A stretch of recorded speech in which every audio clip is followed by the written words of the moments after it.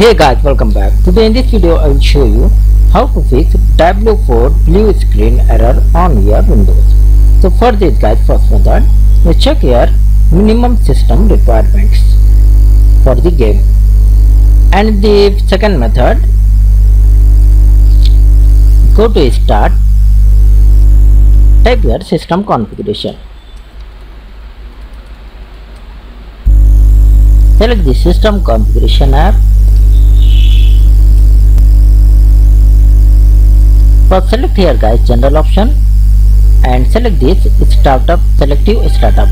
And check this both option load system services and load startup items. And the next go to services. Check here guys hide all Microsoft services. Click on disable all. Click on apply. Next select the startup click on open task manager. Now here guys you disable the all applications like this. Right click here and select the disable. Right click here and select the disable. So disable the all apps. After this you restart your computer.